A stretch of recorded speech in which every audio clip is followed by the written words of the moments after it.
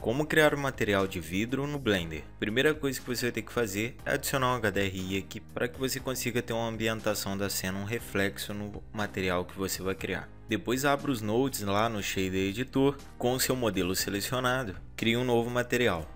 Aqui no Principal BSGF, você vem no valor de Transmission e coloca o valor máximo 1.